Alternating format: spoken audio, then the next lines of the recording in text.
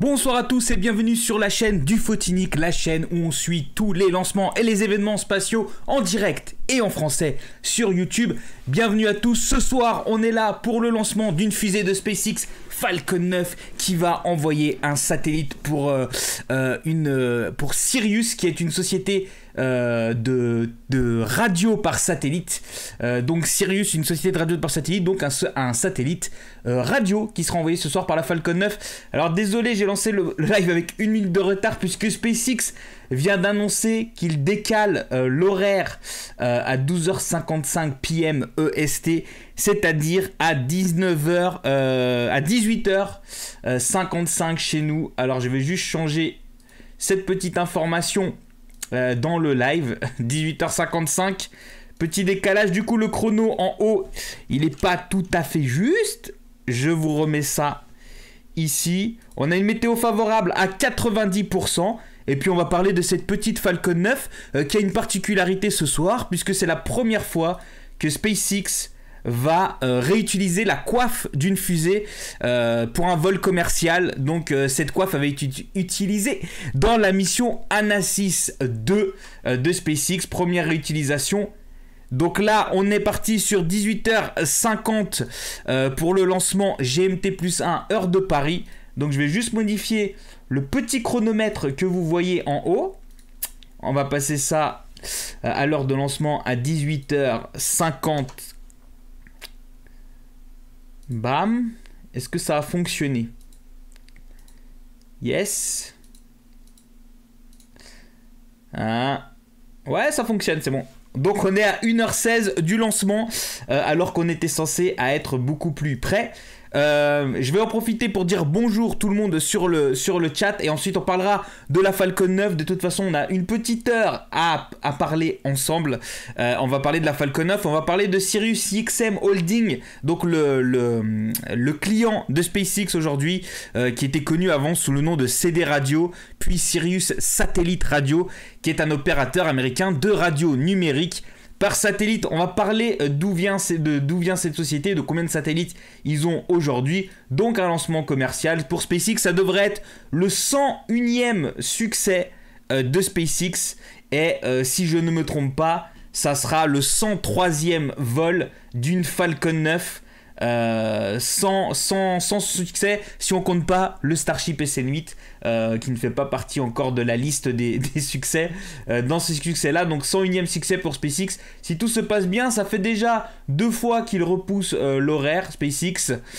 Donc je ne sais pas s'il y a un problème sur la, sur la fusée ou pas. En tout cas la fenêtre de tir se referme à 19h20 je crois. 19h20 ou 19h30 GMT plus 1 donc heure de Paris. Donc de toute façon, on devrait rapidement savoir s'il y a une annulation du lancement ou Tous les systèmes sont au vert, a annoncé SpaceX. Et comme je disais, on a une météo favorable à 90%. Donc on devrait être euh, tranquillement. Euh, on devrait voir ce vol ce soir. Euh, j'en profite pour dire bonjour à tout le monde sur le chat. On a, Edouard Rego, on a le chat historien atelier, on a Azerty 76, on a Cyprien Kling, on a Gabi 127, on a Muriel Lavigne. Salut Muriel, toujours là. On a Jérôme BNX et Fabien Yvon qui sont des sponsors de la chaîne. merci à eux.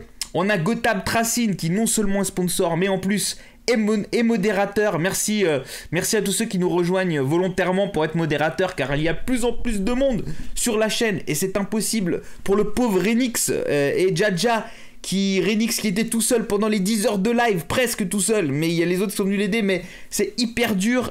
Merci Renix pour votre travail, merci à tous les modérateurs, vous êtes excessivement sympathiques de faire ça sur votre temps libre.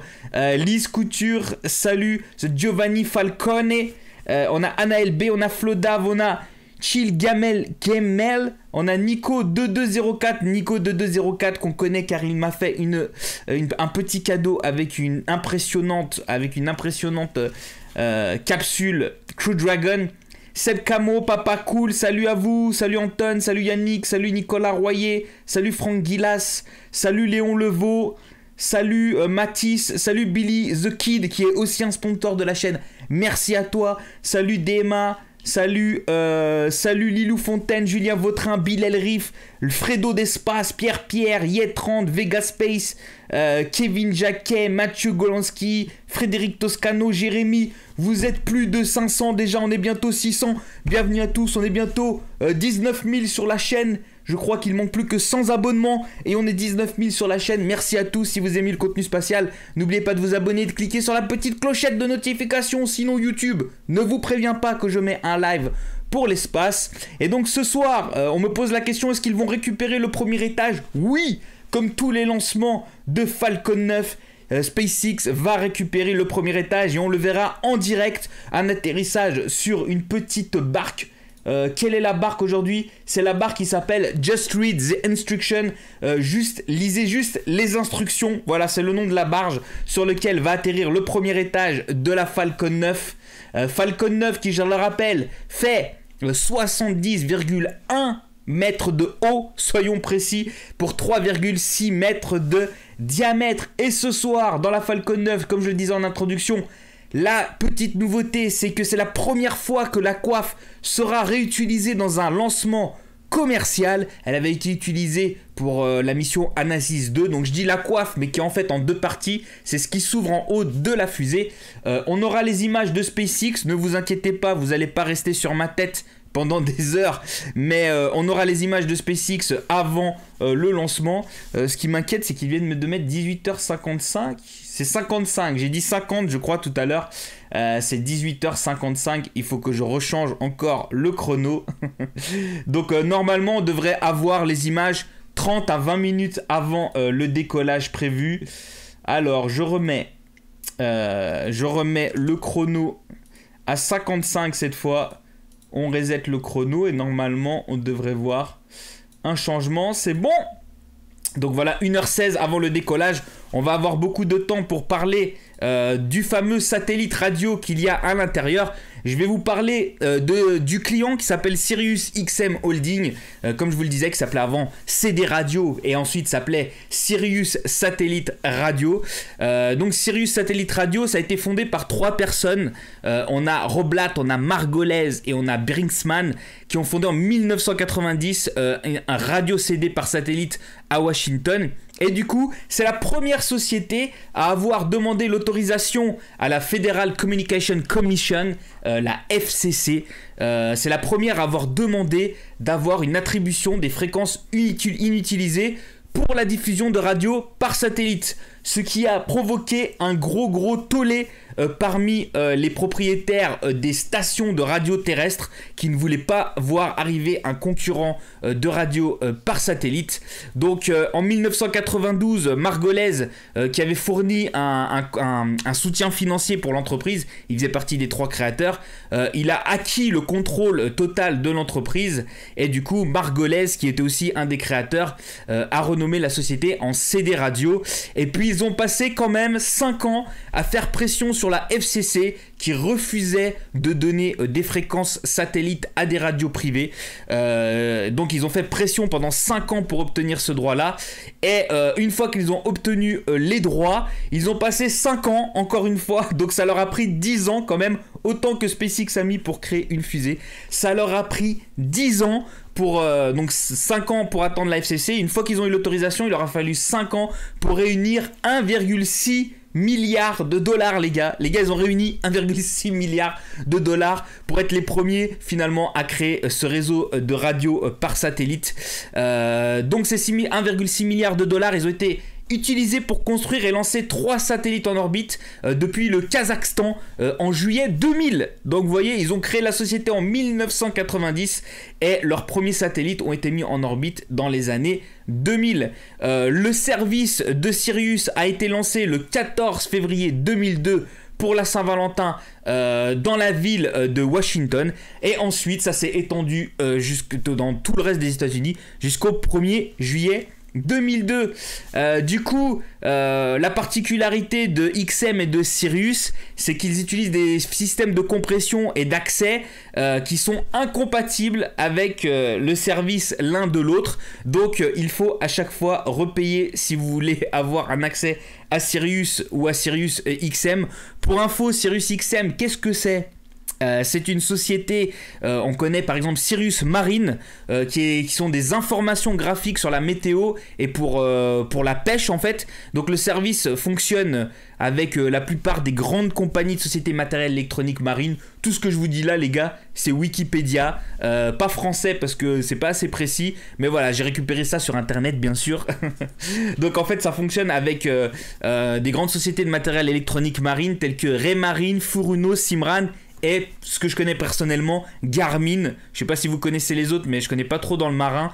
Euh, donc, euh, en fait, il y a plein, plein d'outils qui sont fournis par ces satellites pour des particuliers ou pour des professionnels. Il y a des radars météorologiques, euh, ils ont des systèmes qui, mesurent la foudre entre les nuages et au sol, euh, la hauteur et la direction et l'intervalle des vagues côtières et extra-côtières en haute résolution, la température à la surface de la mer, euh, les isobars de pression, les données avec les bouées. Donc c'est un système qui est utilisé par les marins pour récupérer de l'information et c'est grâce ces satellites et notamment à celui qu'on va voir lancer ce soir. Il y a aussi Sirius XM Aviation qui est un peu la même chose pour les pilotes. Ça leur fournit des informations météorologiques, météorologiques euh, graphiques par satellite, euh, ce qui offre normalement une meilleure couverture du signal et un taux de rafraîchissement de données qui est meilleur qu'avec le service terrestre à prendre avec des pincettes puisque j'ai récupéré cette information du site de Sirius XM Aviation et donc euh, bien sûr ils font de la pub pour leur paroisse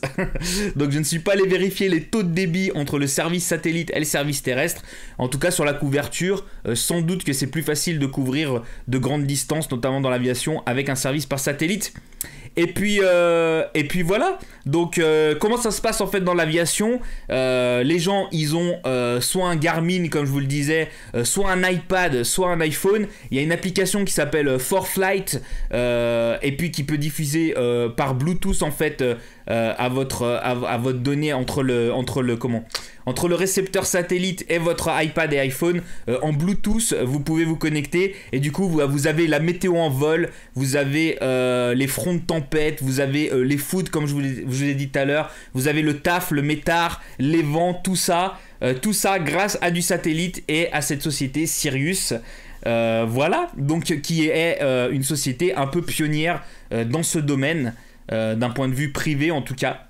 Et c'est ce qu'on va voir ce soir, c'est le lancement d'un satellite pour cette société. Normalement, si tout se passe bien sur le coup des 18h55, euh, je, je revérifie si SpaceX ne nous a pas entourloupaté. Toujours pas. On est toujours parti sur 18h55 GMT plus 1 heure de Paris. Euh, ils sont en train de surveiller les vents de haut niveau. Donc tout à l'heure, ça était 90% favorable. Euh, il y a l'air d'avoir des vents de haut niveau. C'est peut-être euh, la, cause du report. je dis du haut niveau d'altitude, parce que je lis level en anglais, d'altitude, voilà, des vents de haute altitude en français.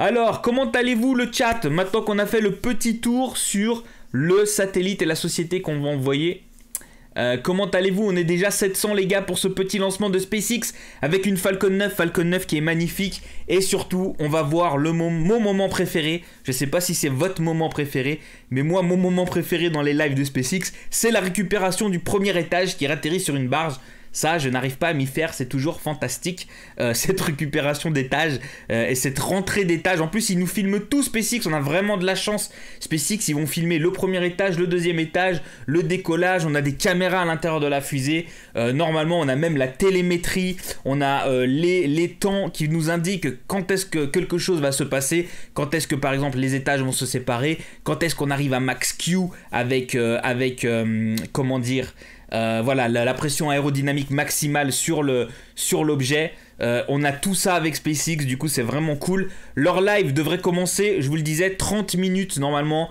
avant, 30-20 minutes, 20-30 minutes avant euh, le, décollage prévu, qui est toujours à 18h55 GMT plus 1.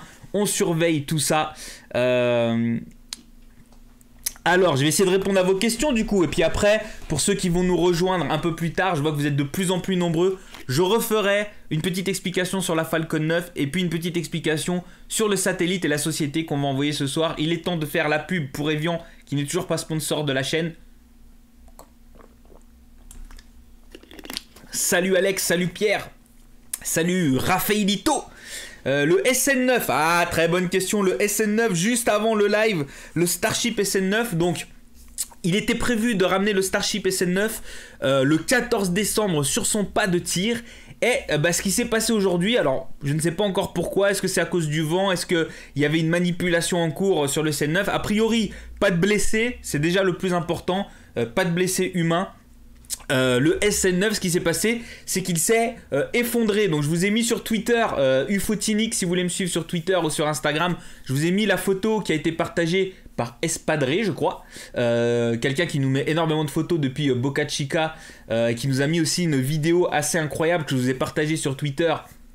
que je vous ai partagé sur Twitter euh, hier euh, où il allait filmer le pas de tir à quelques mètres du, pas de tir du SN8 et donc du lieu du crash, des images dignes d'Hollywood. Euh, si vous n'avez pas Twitter, j'ai aussi mis la photo du SN9 voilà, qui s'est effondré dans son, lieu de stockage finalement, dans son bâtiment de stockage. Il s'est effondré et heureusement le mur du bâtiment l'a retenu. Donc SN9 est devenu la tour de Pise tout simplement. C'est la tour de Pise, elle est complètement penchée. Je vous ai mis la, photo dans l'onglet communauté euh, sur ma chaîne YouTube. Vous avez un onglet en haut communauté. Je euh, je sais pas si beaucoup de gens vont dedans, mais en tout cas voilà, je vous ai mis la photo du SN9 qui est tombé. Euh, il n'y a pas l'air d'avoir beaucoup de dégâts. en tout cas, sur les photos qui ont été transmises, on verra ce que dit SpaceX sur la communication. je ne sais pas si ça va repousser le fait d'amener sur le pas de tir la SN9 amener la SN9 sur le pas de tir, ça veut pas dire que le Starship sera lancé tout de suite. Je vous rappelle que la SN8 euh, est restée longtemps, euh, longtemps, euh, elle est restée longtemps sur son pas de tir, quasi plus d'un mois. Et puis il y en a plusieurs personnes qui me demandent pourquoi SN, bah, Starship Serial Number, donc pour numéro de série tout simplement, numéro 9. Voilà pour la question sur le SN9 qui est effectivement tombé. Alex Louprou qui me dit Tu as des cernes, mon ami. Bah ouais, ouais, j'ai pas dormi depuis 3 euh, nuits là.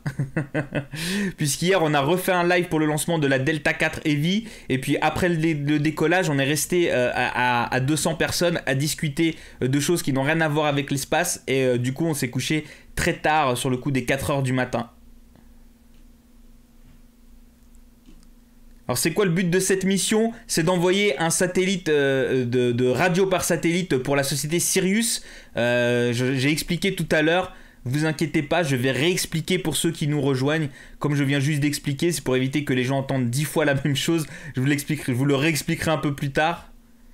Est-ce que Imran nous demande est-ce qu'elle a décollé la fusée Starship? Imran, euh, je crois qu'il est temps que tu ailles regarder le replay euh, qu'on a, qu'on a fait sur la chaîne YouTube du lancement de Starship qui était juste incroyable si tu l'as pas vu.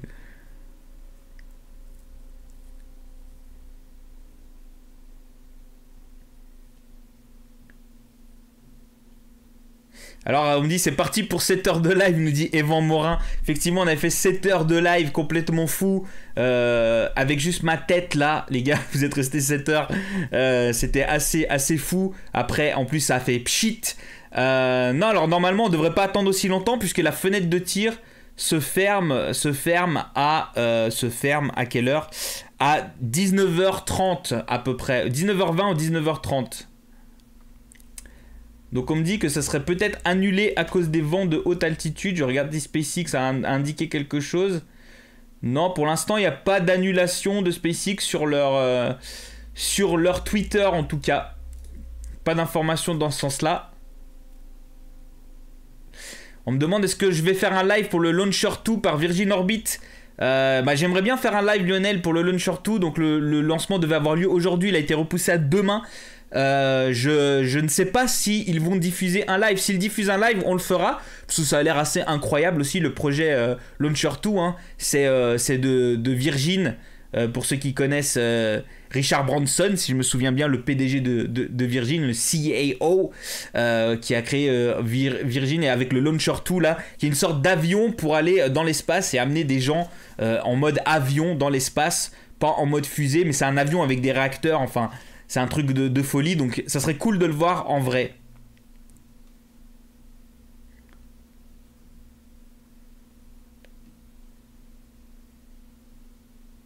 On me dit mon épaule droite est coupée. Et alors? Est-ce qu'il faut que je me mette comme ça? On est pas mal, on est plus au centre là comme ça. Vous voulez voir mon épaule?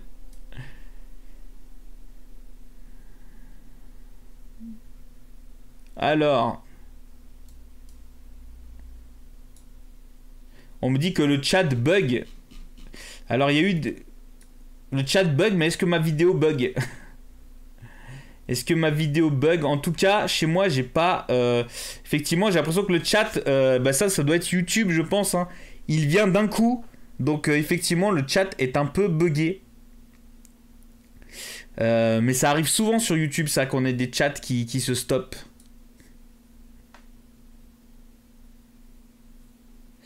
Passion, train, maquette, échelle haut qui vient de s'abonner à la chaîne. C'est passionnant, ça m'intéresse beaucoup. Bah merci euh, pour l'abonnement. N'oubliez pas, c'est gratuit. Cliquez sur la petite clochette de notification. Alors j'ai le même problème que vous. Euh, j'ai le même problème que vous. C'est que le chat s'est arrêté.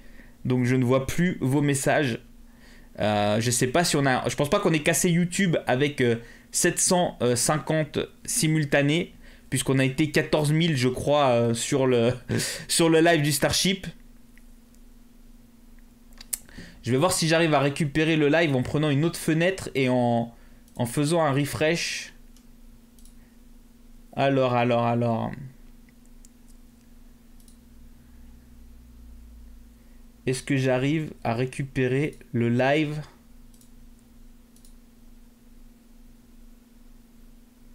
Euh, Ok, si je fais comme ça, le problème c'est que je peux pas rafraîchir la fenêtre YouTube parce que sinon ça va mal se passer.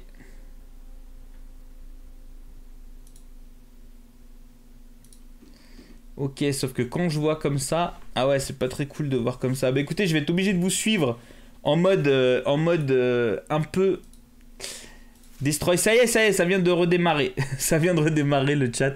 Je sais pas ce qui se passe. Euh, il, faudra, il faudra demander à monsieur YouTube euh, qu'est-ce qui se passe. Est-ce qu'on a cassé le chat sur la chaîne de qualité ufotinique? Car les abonnés de qualité euh, ont trop trop trop ont trop trop écrit dans le chat. On a dépassé le quota mensuel de chat écrit écrivable, ce qui n'est pas français sur YouTube.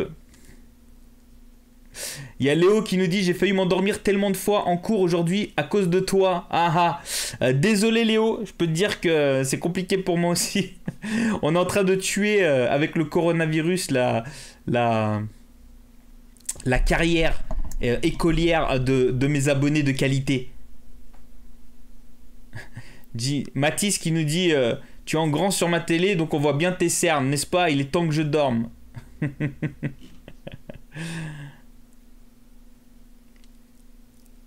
Merci Richard qui revient de la Clusa. Il kiffe la chaîne.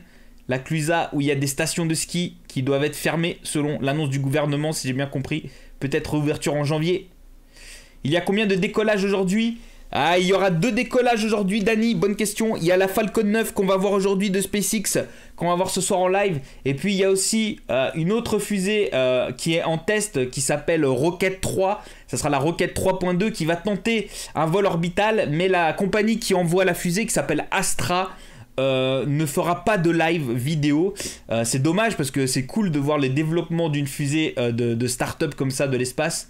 Euh, du New Space, comme on dit. Euh, c'est dommage qu'on n'ait pas l'information.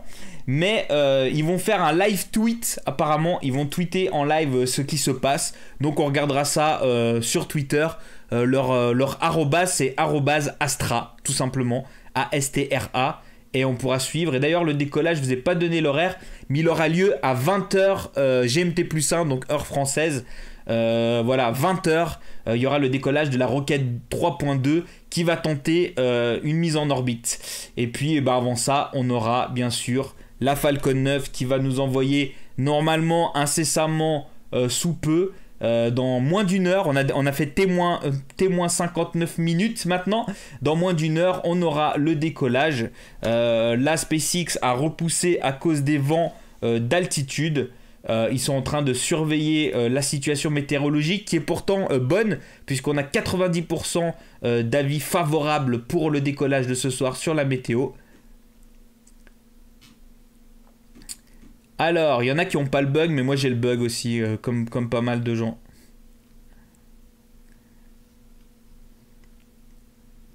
Donc pour l'instant, la vidéo ne bug pas, on me dit, ce qui est quand même une bonne nouvelle. Yann YouTube qui dit salut faux, merci pour tous tes lives. Bah merci à vous. Euh, merci à vous. Moi, je fais des efforts, mais vous aussi, puisque vous êtes là. En tout cas, vous êtes euh, les abonnés de qualité. Je vous le dis toujours, vous êtes toujours des abonnés de qualité avec une humeur euh, ultra sympathique. Merci à tous d'être là. On va peut-être refaire dans 4 minutes, je vais refaire un petit topo de la mission, puisqu'il y a pas mal de gens qui nous ont rejoints.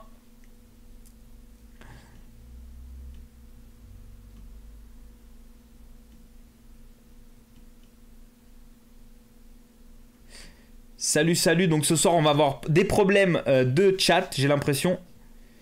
Moi, j'ai des problèmes de chat, effectivement.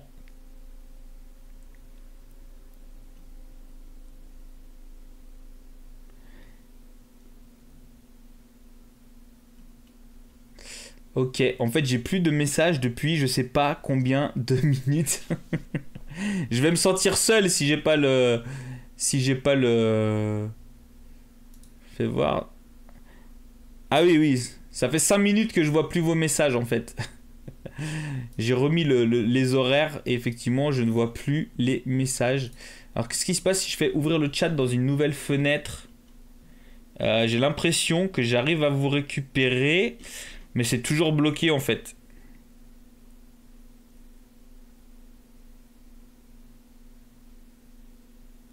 Merci Thiblo pour l'abonnement.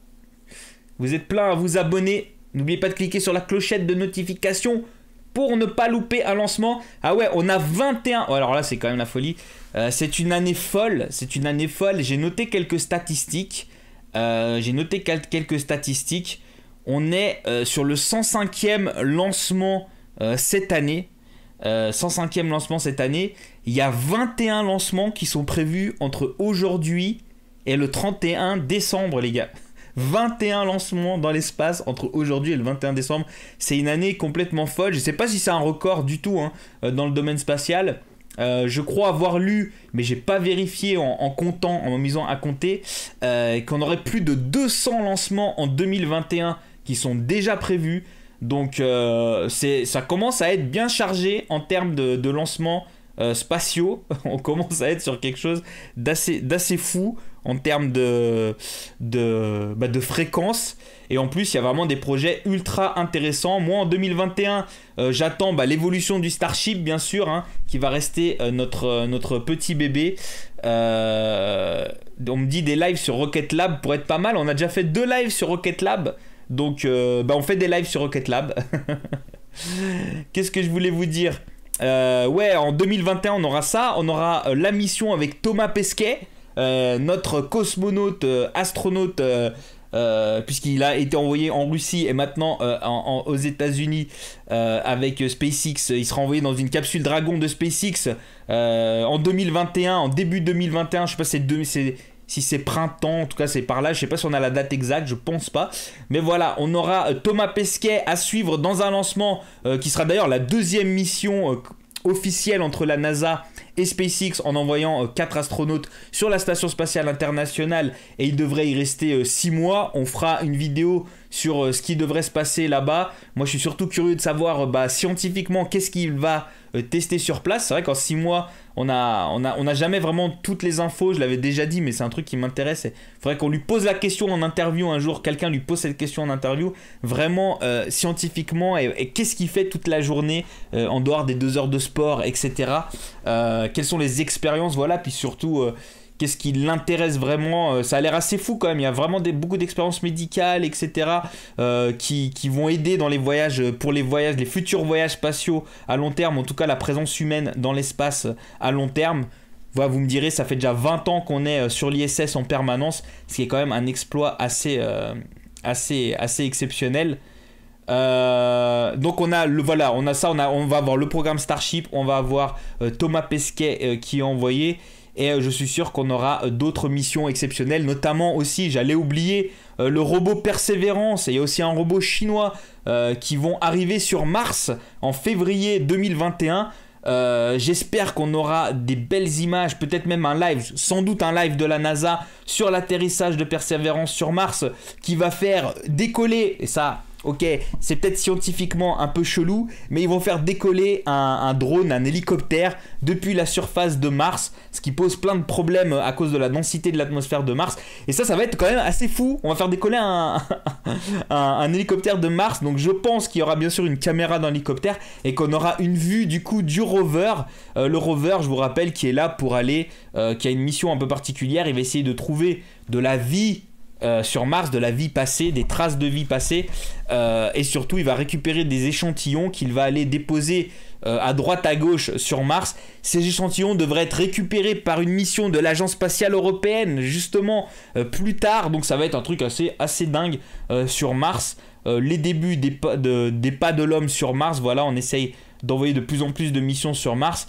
Et puis après, ben, on aura aussi tout le programme Artemis en développement euh, avec l'apothéose en 2024, le programme de la NASA qui permettra à l'homme euh, de retourner euh, sur Mars. Alors j'ai vu qu'il y a un grand débat, dites-moi ce que vous pensez du débat. les gens disent il ne faut plus dire les droits de l'homme mais les droits de l'humain, donc peut-être qu'on ne dira plus l'homme sur Mars mais l'humain sur Mars. voilà, donc Normalement, ça devrait être potentiellement une femme, justement, la première femme à poser le pied sur la Lune. Ça devrait être une femme qui sera la première à poser le pied sur la Lune après toutes ces années euh, d'attente après le programme Apollo. Euh, on verra si c'est bien le cas ou pas. En tout cas, il y aura, il y a, il y a déjà même la parité 18 euh, astronautes, 18, 18 astronautes, 9 hommes et 9 femmes dans le programme Artemis. Alors, est-ce que le chat refonctionne un petit peu J'ai l'impression que ça vient par à-coup. Euh, donc j'essaie de récupérer vos questions. Mince. Comme je l'ai ouvert là, attendez, je vais le remettre là-dedans. C'est plus facile à lire. Euh, désolé si je loupe le question. Vous êtes plus du 800. On va refaire, vous inquiétez pas, un petit speech sur la mission de ce soir qui devrait décoller dans 51 minutes. Je ne sais pas sur quel fuseau horaire vous êtes, mais c'est 18h55 GMT plus 1 heure française. Alors, effectivement, je reçois pas beaucoup de vos messages. Euh, si je relance le live, est-ce que ça va aller mieux? Pas du tout, ça va pas aller mieux. Euh, c'est pas de ma faute, c'est pas la faute de ma connexion parce que vous avez pas de problème euh, avec ma vidéo. C'est la faute de YouTube, c'est déjà arrivé plusieurs fois. Hein. Est-ce qu'il y a un problème de donation aussi? Je sais pas, personne n'a fait de don ce soir. Donc je ne sais pas s'il y a un problème de don. Euh, est-ce qu'il y a un problème sur ma chaîne? Je vais aller vérifier. Euh, laissez-moi deux secondes pour vérifier. Mais euh, là, les informations de connexion de YouTube me disent que j'ai une, connexion excellente. Je suis en fibre optique, tout est au vert en tout cas. merci à ceux qui se sont abonnés. On est presque à 20 000. On est 18 931 à 20 000. Je me suis trop emporté là. À 19 000, pardon. On est 18 931. N'hésitez pas, si vous aimez le contenu spatial, à cliquer sur le bouton abonné et sur la clochette de notification pour être prévenu par YouTube quand une vidéo en direct sort. Alors, laissez-moi vérifier. Non, il n'y a, a, aucun problème en tout cas dans ce que m'affiche YouTube. Il n'y a aucun problème. Donc, euh, donc voilà, c'est la vie. YouTube bug un petit peu, ça arrive. Kevin, merci Kevin pour ton message. Kevin Poulmarch, je sais pas si on dit prononce correctement. Est-ce que c'est breton ce nom de famille? Je vais t'envoyer ce message à 17h58. Ouais, on a un peu de retard. J'ai 6 minutes de retard sur vous. Euh, bon, c'est la life. Pourquoi est-ce que je mets pas le live de SpaceX? Le live de SpaceX n'a pas commencé. Euh, donc vous voyez ma tête tout simplement parce que euh, tout simplement parce que le live de SpaceX n'a pas commencé. Il devrait commencer 30 euh, minutes avant le décollage, donc on va dire d'ici 19 minutes normalement. On devrait avoir le live de SpaceX et donc on mettra, on mettra directement. on mettra directement les images de SpaceX plutôt que ma tête de fatigué avec des cernes. Merci Gérald qui dit bonsoir à tous les abonnés de qualité avec une baleine. Merci à toi, euh, Gérald.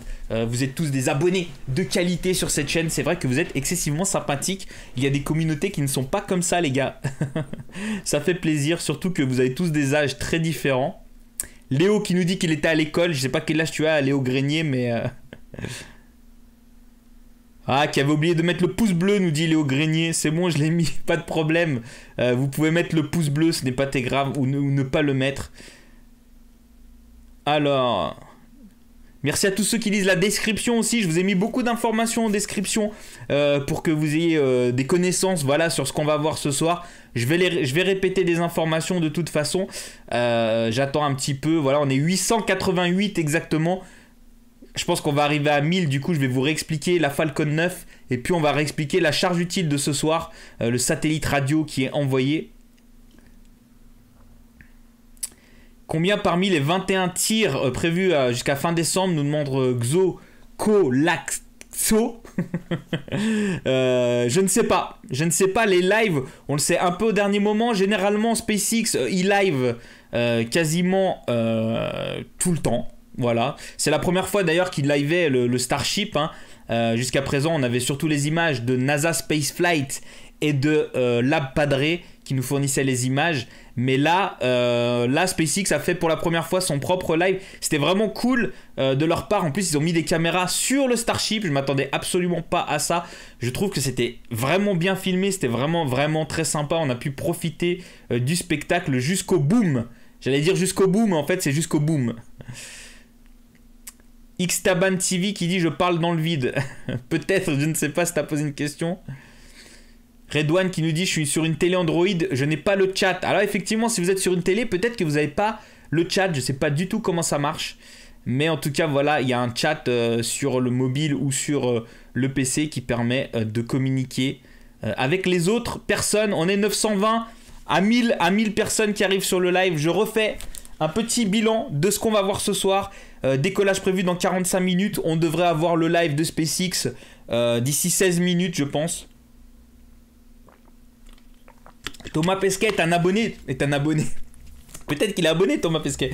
C'est un astronaute de qualité, effectivement, de qualité, euh, surtout dans son partage d'informations. vraiment très cool, Thomas Pesquet. Arnaud qui kiffe le nombre de lives. Selon SpaceX, tire dans 54 minutes. Alors je sais pas quand est-ce que envoyé ton message. Euh, normalement c'est toujours prévu, je vérifie. À 18h55 GMT plus 1, toujours prévu. À 18h55 GMT plus 1, donc heure de Paris. Fred Vassester qui joue à Virtual Regatta aussi avec moi. Emilien qui demande c'est quoi du coup le lancement? Eh bah le lancement c'est, on va en profiter pour répondre. Euh, merci en tout cas à Nicolas et à Léo qui ont fait un test euh, de don. 5 euh, euros pour Léo et 0,99 pour Nicolas. Merci pour votre soutien. Ça a fonctionné. Voilà, ça fonctionne. Merci à, merci à vous. Euh, alors, ce soir, qu'est-ce qu'on va voir Puisque vous venez de nous rejoindre, eh bien, on va voir euh, un lancement d'une Falcon 9 de SpaceX. Donc, la particularité de SpaceX, c'est de récupérer le premier étage. Et la chance qu'on a, c'est que le premier étage sera toutes ces, toutes ces, toutes ces étapes du lancement seront filmées intégralement par SpaceX, que ce soit le décollage ou que ce soit l'intérieur de la fusée. Il y aura des caméras et on verra euh, la séparation des étages, le deuxième étage continuer sa course, son allumage, et puis surtout euh, la rentrée atmosphérique du premier étage et son atterrissage sur une barge qui s'appelle, euh, je ne veux pas dire de bêtises, Just Read the Instruction, lisez juste les instructions, voilà c'est le nom de la barge, donc qui est une barge drone entre guillemets, qui n'a pas de, pilote sur la barge et qui vient dans, dans l'océan pour récupérer le premier étage de la fusée au milieu de l'océan. Un truc complètement incroyable que SpaceX maîtrise à fond, on peut le dire maintenant après, euh, son centième succès, on peut le dire. Euh, voilà. Et donc la fusée euh, Falcon 9, c'est une fusée de SpaceX qui est propulsée par 9 moteurs Merlin. C'est pour ça que ça qu'elle s'appelle Falcon 9, parce qu'elle a 9, euh, réacteurs. Pardon, euh, et euh, elle fait 70,1 mètres de haut pour 3,6 mètres de diamètre. Et ce soir, elle envoie un satellite radio pour une société. Ah, j'ai pas dit un truc. si, je l'ai dit tout à l'heure, mais je vais le répéter. c'est la première fois qu'une coiffe, donc la coiffe, c'est ce qui protège. c'est le gros truc en haut de la fusée. Mais attendez, j'ai ma fusée. Euh, j'ai ma fusée Falcon 9. Bougez pas, je vais chercher ma fusée Falcon 9.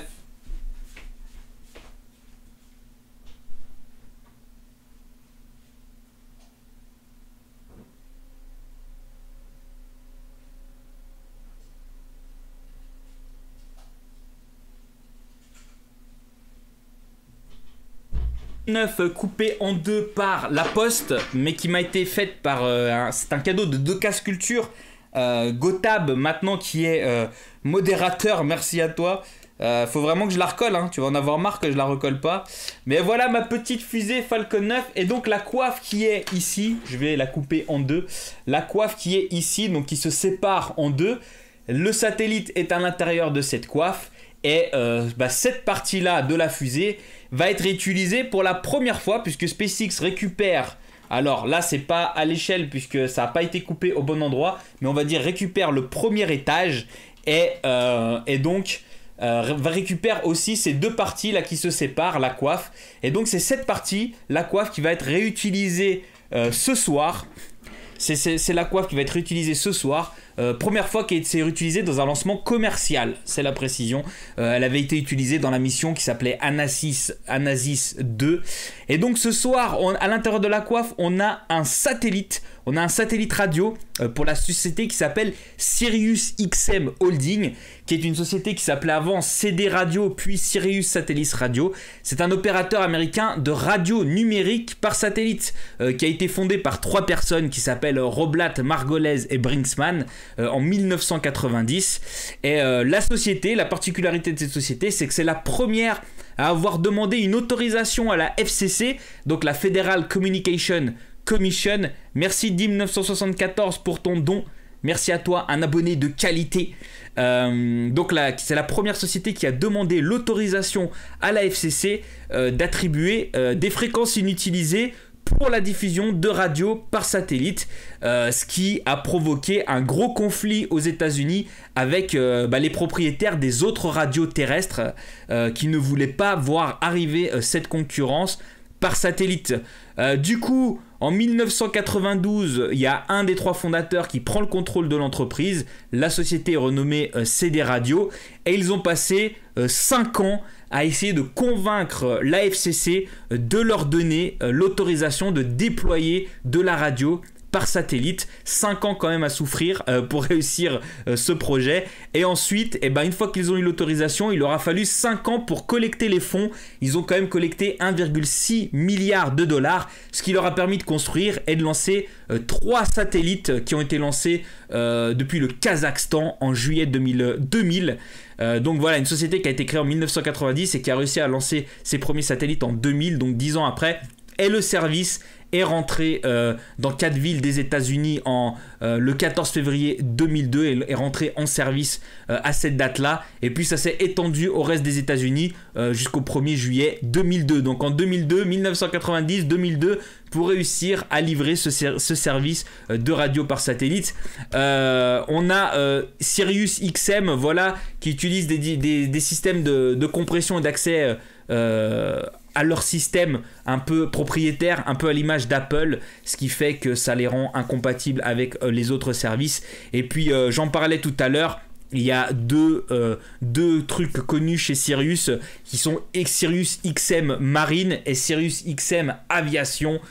Sirius XM Marine qui donne des informations sur la météo, sur la pêche, euh, qui passe par des récepteurs de marque Raymarine, Furuno, Simrad que je ne connais pas, ou Garmin qu'on connaît tous pour euh, le GPS. Euh, on me dit la vidéo bug. chez moi, j'ai toujours marqué en connexion excellente. Dites-moi les gars si, vous voyez un petit bug ou pas. De toute façon, je vois le chat vraiment qui bug à mort. Euh, donc Sirius XM Marine, voilà, c'est quelque chose qui donne de l'information tout simplement. Euh, il y a un paquet euh, Marine Offshore qui comprend un radar météorologique. ça explique la foudre entre les nuages, la foudre au sol, la hauteur, la direction, l'intervalle des vagues, la température de la surface de la mer, les isobars de pression, les données de positionnement de bouée. Enfin, tout ça, c'est de l'information qui permet aux marins de circuler en sécurité et puis de réaliser leur mission. Et puis il y a Sirius XM Aviation qui fait à peu près la même chose, euh, qui a des informations météorologiques euh, et que, alors ça à prendre avec des pincettes parce que je l'ai récupéré du site de Sirius, euh, qui a une meilleure couverture du signal puisque c'est par satellite et un taux de rafraîchissement des données plus rapide que le service, que les services, je dirais, terrestres actuels.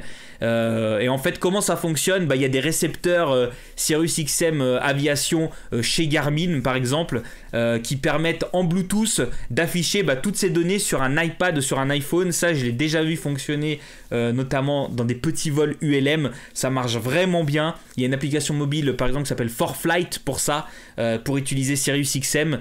Et puis ça permet d'afficher la météo en vol et les données transmises par satellite bah, pour surveiller les fronts de tempête, donc la météo, suivre les coups de foudre, le taf, le métard, les vents, tout ça. Donc ça permet de, sécuriser, d'avoir de l'information pour le pilote, euh, ce qui sécurise son vol bien sûr, même s'il fait un plan de vol à l'avance, etc.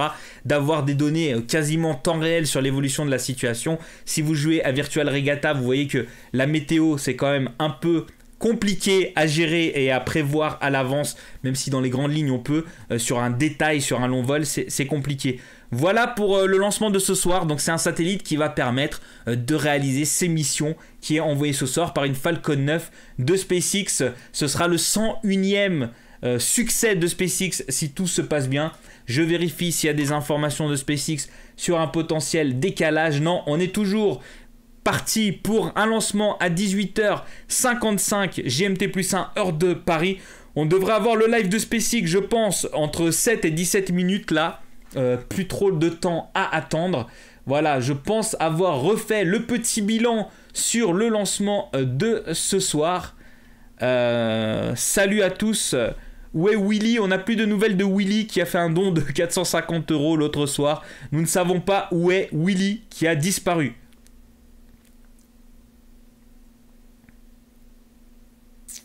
Quoi Alors, on me demande, est-ce que Richard demande, est-ce que Sirius est remboursé si euh, il y a un échec du lancement, on va dire une explosion, une perte? Alors là, je t'avoue que j'en ai aucune idée. Euh, j'imagine que à la fois SpaceX et à la fois Sirius ont des assurances. Et comme toujours dans ces cas-là, eh ben, c'est les assurances qui payent s'il y a vraiment euh, des assurances. Mais vu les millions qui sont en jeu, je pense qu'on peut, qu'on peut parler d'assurance derrière. Je ne sais pas combien, combien coûte une assurance comme ça. En tout cas, un vol euh, d'une Falcon 9 euh, jusqu'à présent c'est annoncé à 50 millions d'euros. D'ailleurs, si vous voulez voir les tarifs, c'est assez simple puisque vous allez sur le site de SpaceX et vous pouvez euh, commander un lancement par satellite. les tarifs sont affichés, sont affichés sur le site de SpaceX. si je tape SpaceX tarif, est-ce que on peut aller voir en direct le tarif sur le site de SpaceX? Normalement, ils ont fait un site. Alors, je sais pas si c'est sur le site de SpaceX où il y a eu un moment euh, ride share. Voilà, ce qu'ils appellent le ride share, euh, c'est le partage en gros euh, de, de, la, de, la charge, de la charge utile. Et voilà, ça commence à 1 million de dollars pour 200 kilos. 1 million de dollars pour 200 kilos avec un tarif de 5000 dollars en plus par kilo supplémentaire. donc après, bien sûr, il faut dire qu'est-ce qu'on veut? Est-ce qu'on veut une orbite polaire? Est-ce qu'on veut une orbite haute, une autre orbite? Quand est-ce qu'on veut euh, l'envoyer? Et puis voilà, vous avez vu, je vais vous mettre, je vais vous mettre dans le chat. Alors désolé pour ceux qui sont sur leur télé, mais je vous mets dans le chat les tarifs SpaceX et puis vous pouvez vous amuser à essayer d'envoyer vos propres satellites dans l'espace directement depuis le site de SpaceX. Donc euh, voilà, c'est du ride share, donc c'est du partage. Normalement, ça coûte en gros 50 millions de dollars par lancement. Je rappelle que le but d'Elon Musk, c'est de diminuer ce coût en faisant de la réutilisation normalement du premier lanceur, euh, du premier étage, pardon, ce qu'on va voir ce soir. Le but, c'est de diminuer le coût à... Euh, à pas de bug vidéo, chez moi juste le chat. Ok, chez moi c'est pareil, pas de bug vidéo, juste le chat, je suis comme vous. Euh, qu'est-ce que je vous disais Ouais, pardon, je vous ai pas envoyé le lien. Ah si, si, c'est bon. Euh, ah oui, effectivement, le chat bug, donc j'avais l'impression de ne pas l'avoir envoyé. Euh, donc voilà, vous avez le tarif et voilà, Elon Musk lui veut diminuer le coût à 2 millions de dollars par lancement, ce qui serait complètement fou. Il faut sauver Willy. Voilà là, je suis désolé le chat, j'ai 6 minutes de retard vu que ça arrive que d'un coup.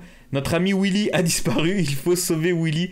J'aime beaucoup ça. Euh, il faut sauver Willy, un excellent film de notre enfance.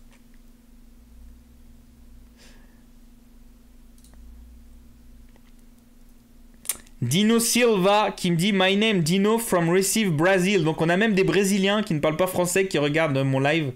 Euh, euh, bon dia Dino, tout bien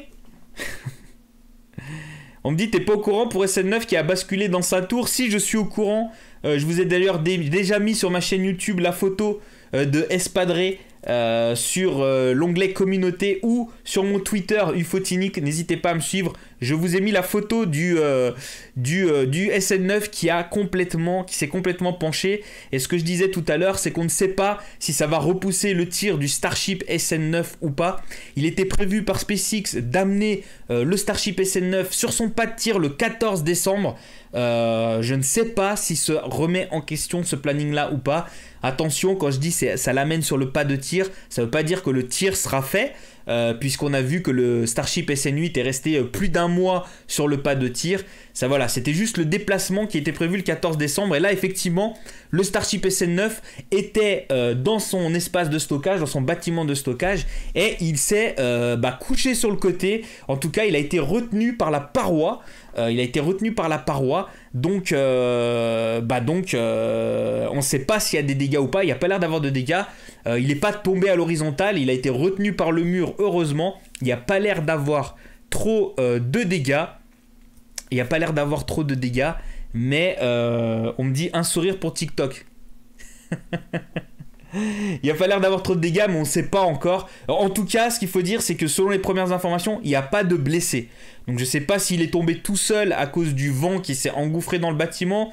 Est-ce qu'un des pieds de ce qui le retient euh, s'est effondré? En tout cas, voilà, maintenant, c'est la tour de Pise. Mathis nous dit c'est partout, c'est partout pareil sur YouTube. Il y a des bugs de chat.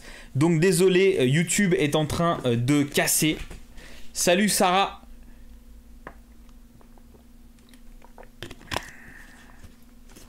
Il y a Hans Experiment qui me dit Hey brother, hey brother. Je sais pas pourquoi Hans il a réussi à avoir un, un encadré là sur son nom YouTube.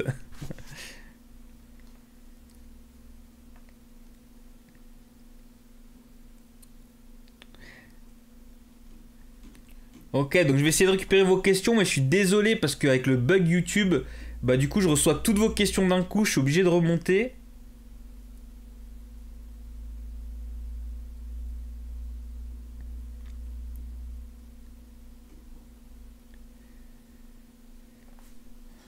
Alors. Donc SpaceX a toujours pas lancé son live. Euh, on, va arriver à témoin 30 minutes. Généralement, il lance entre témoin 20 et témoin 30. Donc on va regarder est-ce que là, dans quelques secondes, on va avoir le live de SpaceX ou pas. Ce qui vous évitera d'avoir ma tête en grand en permanence. Salut euh, les Québécois, on a les Québécois en force ce soir. Bonjour aux Québécois. Bonjour à tous les cast members Disney qui sont euh, sur la chaîne. On a découvert qu'on avait 10 euh, cast members Disney dans les abonnés hier soir. Salut à vous. Retour à soi qui nous dit Salut, ça fait plaisir de retrouver le live, truc de fou, le Starship SN8 la dernière fois. On en a pris plein les yeux. Ouais, c'était fou le Starship SN8. Et là, on va aussi avoir un truc euh, de fou. Puisqu'on va avoir euh, le lancement de SpaceX, mais surtout la récupération du premier étage. Ça, c'est toujours un truc qui m'impressionne. On n'a pas l'habitude de le voir sur les autres lancements. Et en plus, c'est filmé en direct. Donc, c'est vraiment, euh, vraiment, c'est vraiment ça. Il y a Hans qui nous dit what language are you speaking? We're speaking French, man.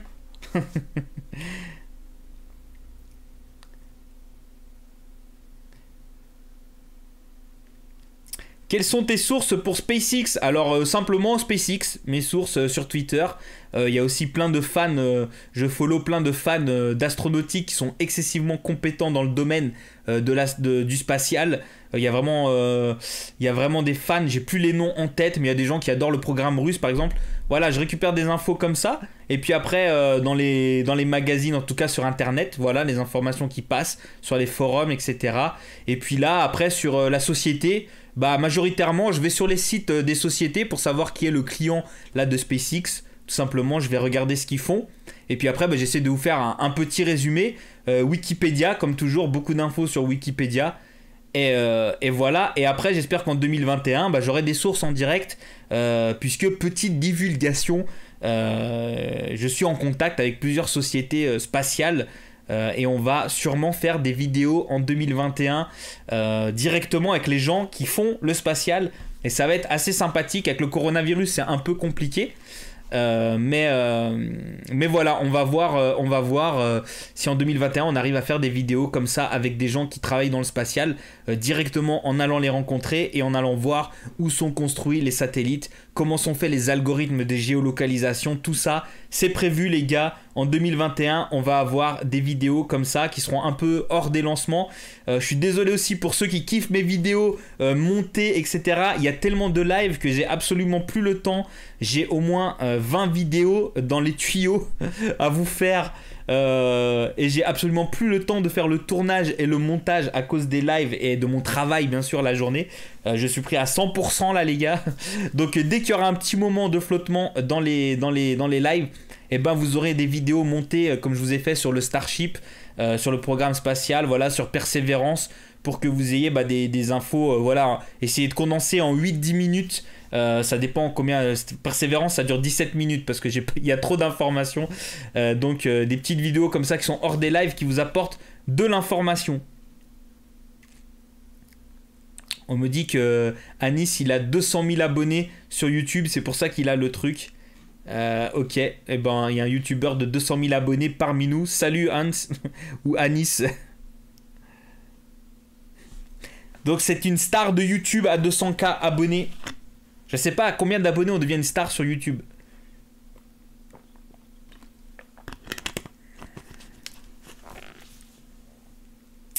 Ah d'accord, il a une chaîne vérifiée. Vous voyez comme je suis un youtubeur débutant, je sais, je suis même pas au courant que le gars il est youtubeur certifié et donc il a un encadré.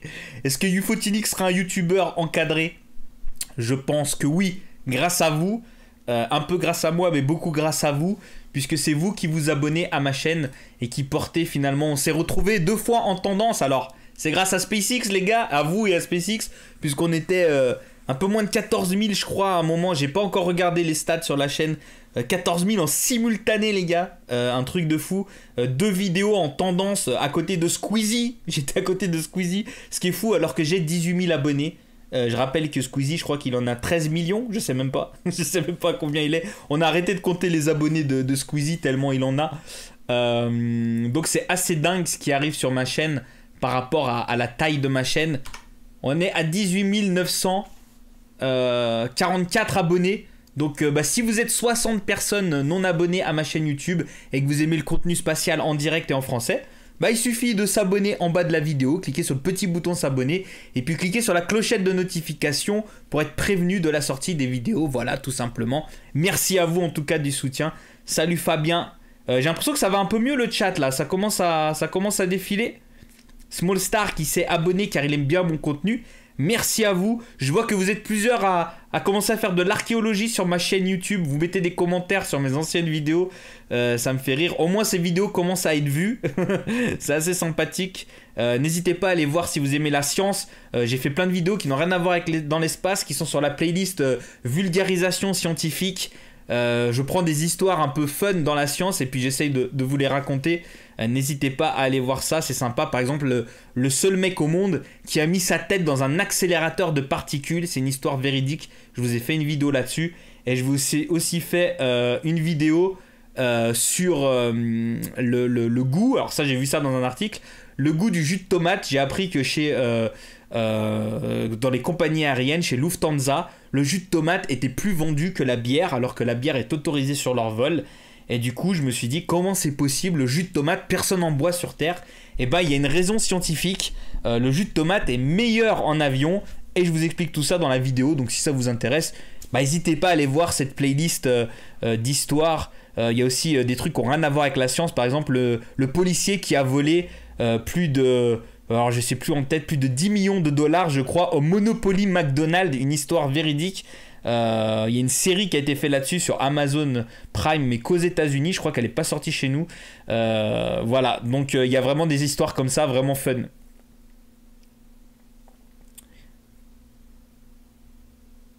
Il y a Antoine qui nous dit qu'il vit à Melbourne en Floride et qui voit passer SpaceX à chaque lancement. Bah tu as bien de la chance Antoine. Ouais, je suis vraiment en retard sur vous. Il y a vraiment un problème sur le chat parce que vous me répondez à mes questions d'il y a, un paquet de temps. On me dit je suis déjà une star sur YouTube. Il y en a qui pensent que c'est de la vodka dans ma bouteille d'Evian. C'est de l'Evian, les gars. En fait, c'est aussi de l'eau du robinet des fois. On me demande est-ce que j'ai le trophée des 10 000 euh, Non, j'ai pas le trophée des 10 000 parce que c'est 100 000 le trophée, euh, Nicolas. Donc euh, c'est 100 000. On a encore du temps avant d'arriver aux 100 000 puisqu'on est 18 940. bah non, bah on est plus de. Merci à ceux qui viennent de s'abonner. On est 18 980. Plus que 20 abonnements et on a 19 000 pour le lancement. Merci à tous. Plus que 20. c'est la classe. Allez hop. Ça, c'est bloqué sur la chaîne. Et on est à 22 minutes 33 du lancement, euh, qui est toujours prévu à 18h55 GMT plus 1 heure française. On devrait avoir le live de SpaceX incessamment sous peu. Je vérifie juste les informations de SpaceX. Euh, est-ce qu'on a des infos supplémentaires? On est toujours sur 18h55 GMT plus 1 heure française pour le lancement de SXM 7. Euh, et la team est en train de vérifier euh, les vents de haute altitude. C'est pour ça qu'il y a eu un report. Il y a des vents haute altitude qui peuvent gêner le lancement. De toute façon, la période de la fenêtre de tir se ferme à 19h20 ou 19h30. Euh, et donc, on devrait rapidement savoir s'il y a y a un décalage. On me dit que Squeezie a 15 millions, j'étais pas loin, 13 millions, 15 millions. Euh, je sais même plus si Squeezie compte vraiment ses millions d'abonnés.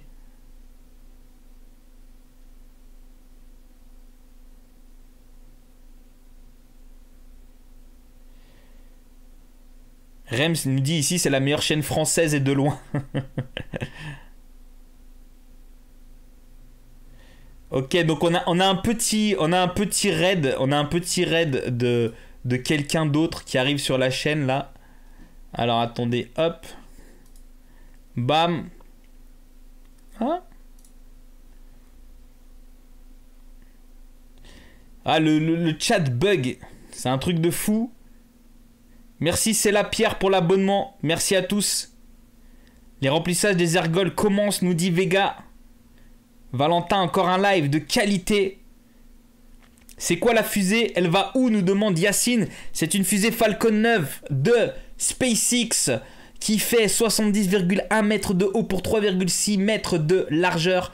Euh, qui va envoyer un satellite de radio, un satellite radio pour la société euh, Sirius XM euh, qui, fait plein de choses, notamment euh, pour l'aviation et pour euh, la marine, qui utilise un peu, sur la tablette iPad, tu peux avoir des informations météorologiques sur la taille des vagues, sur la température des vagues. Quand tu es en avion, tu peux avoir les vents, la météo, tout ça, tout ce qui sert à, à sécuriser un vol ou en tout cas et aussi les missions marines. voilà à quoi va servir, entre autres, ce satellite de la société Sirius XM. Euh, d'où le nom d'ailleurs euh, du lancement de ce soir, euh, SXM pour Sirius XM 7 pour la septième mission pour cette société-là. ça sera le 101e succès de SpaceX. 101e succès de SpaceX quand même et la 105e mission en tout cas de lancement orbital en 2020. Voilà ce qu'on va faire.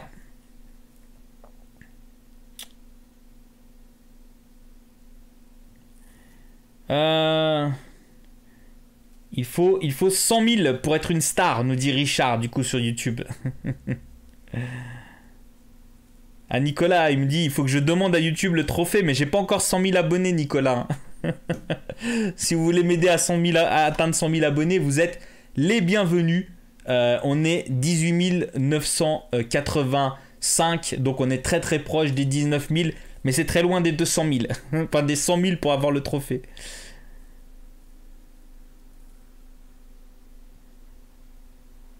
La fusée, la fusée va, va en orbite. Alors la fusée elle-même, elle va pas en orbite. enfin si, elle va en orbite, mais le premier étage va revenir sur Terre, Yacine. Euh, c'est la particularité de la Falcon 9 de SpaceX. Il récupère le premier étage, ce sera filmé et tu vas voir si t'en as jamais vu que c'est assez fou quand même. Et le deuxième étage, ensuite, il revient sur Terre, il va, se, il va être récupéré. euh, normalement, il rentre dans la. Je sais pas exactement où il va aller là ce soir. Normalement, on le récupère en mer. Et puis euh, SpaceX va aussi récupérer la coiffe, donc euh, ce qui protège sur la fusée ici. SpaceX va récupérer cette partie. qui a en fait. Alors, pour récupérer le premier étage, il y a une, une- barge, un bateau quoi, plat, qui permet de récupérer le premier étage qui va revenir comme ça à la verticale, se poser et puis déployer ses petites patounes euh, pour se poser. Et puis euh, on a euh, cette partie là qui se sépare en deux. Le satellite est à l'intérieur. Je sais même pas si on voit bien. Attendez. voilà, le satellite est à l'intérieur de cette petite partie là.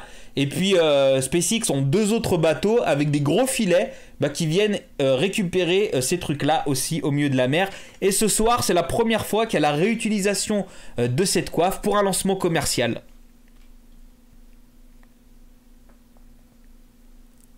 Alors après ce soir, quel est le prochain lancement en live?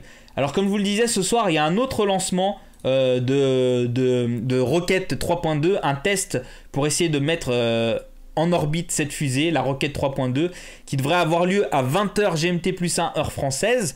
Euh, il n'y aura pas de live, il n'y aura pas de live vidéo de leur part, ils l'ont annoncé. Par contre, ils feront un live Twitter, voilà. Donc on suivra ça. C'est @astra si vous voulez suivre ça. Moi, je regarderai ça. Et puis aussi le vol demain de Spaceship 2 de Virgin Origin. Euh, de Virgin Origin, j'ai dit, de Virgin Galactic, qui va, qui est une sorte d'avion qui est fait pour amener euh, des touristes euh, dans l'espace avec des, des- réacteurs. Ça va être un vol de test aussi. Je ne sais pas si ça sera filmé ou pas. C'était prévu aujourd'hui, c'est décalé à demain. Si c'est filmé, on en fera un live. Après, euh, il y a des lancements à des heures euh, pas possibles, mais de toute façon, euh, les lancements, regardez ce soir, c'est toujours décalé les horaires. Donc c'est pour ça que les lives arrivent un peu au dernier moment. J'essaie de les mettre en place quand on est à peu près sûr d'avoir un lancement et d'avoir une vidéo qui nous permettrait de regarder. Par exemple, il y a Electron qui sera lancé le 15, mais à 10h du matin GMT. Sauf que le 15 à 10h GMT, bah moi je suis au travail. Donc, mais comme je vous le dis, euh, c'est toujours décalé ces, ces lancements. Pas toujours, mais souvent à cause de la météo ou d'autres raisons. Donc on peut jamais vraiment savoir euh, plus d'une semaine à l'avance d'être sûr qu'un truc euh, va être prévu à telle date. On a des dates prévues à l'avance, mais voilà, elles sont toujours soumises à changement. C'est la complexité du domaine spatial. Donc si jamais, bah, si vous êtes abonné à ma chaîne et que vous avez la clochette de notification, vous serez au courant euh, quand le voilà quand, quand ça arrive. Et le live de SpaceX vient d'être lancé, donc on va switcher sur le live de SpaceX. Laissez-moi allumer le son pour que vous puissiez avoir aussi le son de SpaceX. On va basculer sur leur live. Alors pour l'instant il y a une petite musique, alors je vais pas vous mettre le son de SpaceX, mais dès que c'est lancé, on devrait être parti. Donc ça, ça veut dire que c'est une bonne nouvelle. On est parti sur un tir euh, dans euh, 15 minutes normalement, dans, à peu près 15 minutes, euh, à 18h55 GMT plus 1 heure française. Voilà le petit live de SpaceX que je peux vous faire. Euh, Laissez-moi regarder si je peux vous mettre le chronomètre. Euh, hop. En attendant euh, le chronomètre de SpaceX. Voilà, je peux vous mettre un petit chronomètre en haut euh, avec l'heure théorique de lancement. hein. Je regarde si SpaceX est toujours parti sur l'horaire. Euh, c'est toujours prévu à euh, 18h55 GMT plus 1 heure française. Bienvenue à tous ceux qui viennent de nous rejoindre. Vous êtes 1400 euh, en direct. Bienvenue à tous.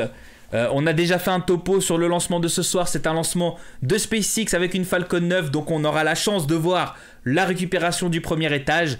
Euh, la Falcon 9, 70,1 mètres de haut pour 3,6 mètres de diamètre. Et c'est un lancement pour une société qui s'appelle euh, Sirius XM, d'où le SXM 7 pour la septième mission de Sirius XM. Une société qui fait notamment euh, grâce à ces satellites qui fait de la distribution d'informations satellitaires euh, pour la marine et pour l'aviation euh, qui servent par exemple à, avoir des infos météo en avance à avoir la pression atmosphérique, la température à la surface de la mer pour ce qui est bateau, pour ce qui est vol, il y a le métard, il y a le taf, il y a les fronts de tempête, il y a le, la météo avec les coups de foudre, il y a, il y a plein de choses, les vents, etc. Euh, c'est vraiment, vraiment utile pour les gens qui volent. Il y a une application mobile qui s'appelle ForFlight pour utiliser euh, ces données satellitaires euh, qui sont récupérables via une antenne en fait, enfin un, récepteur. Et puis après, ça envoie en Bluetooth à votre iPad ou à votre iPhone les informations et vous pouvez les utiliser en vol ou sur, sur votre bateau. Donc voilà, on est en direct maintenant. Témoin 13 minutes. Témoin 13 minutes on est en direct en train euh, de le remplissage est fait. Et donc euh, la prochaine étape, eh ben, ça va être l'allumage des moteurs pour le décollage. Tout simplement.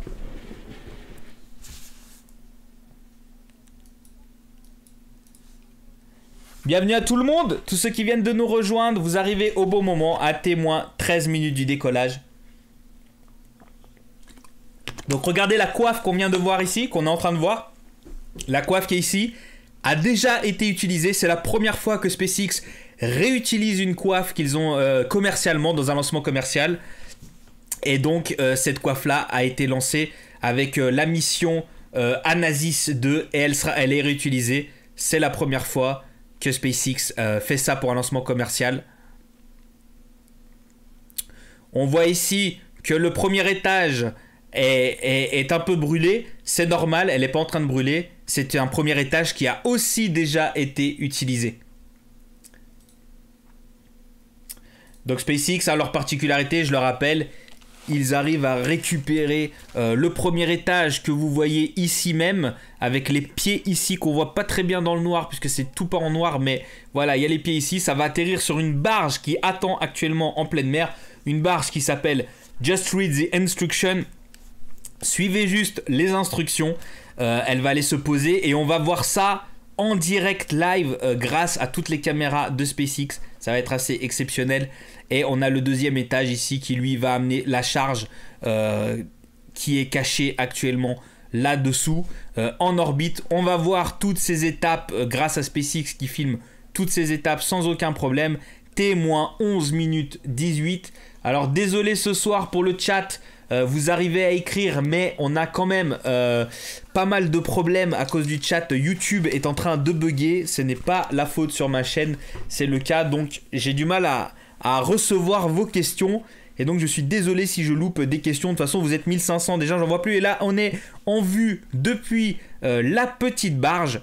en vue depuis la petite barge, voilà, qui est une barge autonome. Hein. c'est une sorte de drone marin et qui va aller récupérer le premier étage qu'on voit ici dans, euh, bah, quelques minutes euh, entre guillemets après le décollage. Et on verra tout ça y compris la rentrée atmosphérique en direct grâce aux caméras de SpaceX.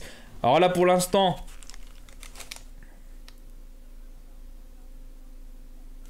pour l'instant on n'a pas les bruits euh, c'est la présentatrice qui parle on n'a pas les bruits de la fusée là. Enfin on a un tout petit peu les bruits en fond et moi, ce qui m'intéresse, c'est d'entendre des pshht.